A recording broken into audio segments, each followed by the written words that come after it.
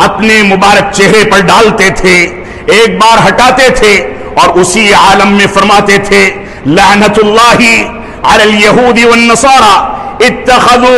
अंबिया मसाजिद, कि अल्लाह रब्बुल आलमीन की लानत हो यहूदियों पर, नसरानियों पर, कि उन्होंने अपने अंबिया की कब्रों को सजदागाह बना लिया।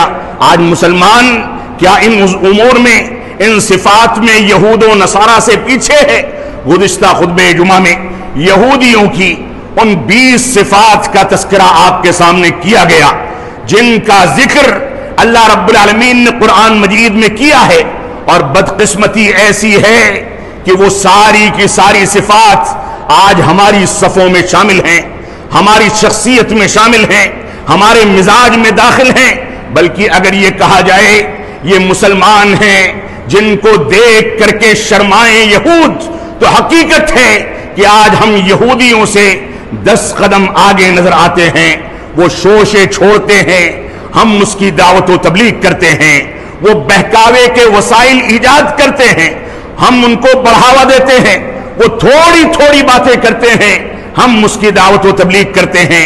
तो अगर हमको मस्जिद अक्सा को आज़ाद कराना है, मस्जिद अक्सा पर गलबा हासिल करना है तो हमारी ज़िम्मेदारी है कि हम अपने ईमान अपने अकीदे और अपने अखलाक को दुरुस्त करें।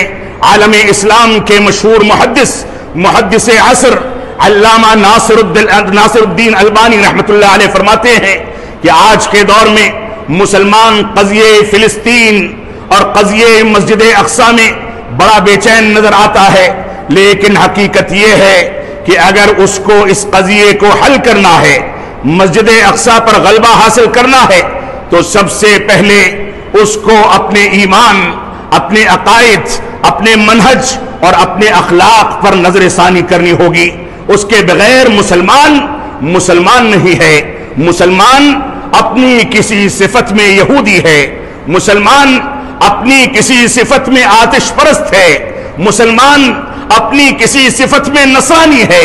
मुसलमान अपनी किसी सिफत में इस्लाम दुश्मन है। और उसको शूर भी नहीं पहले मुसलमानों को इस्लामी तालीमत पर नजरसानी करनी होगी।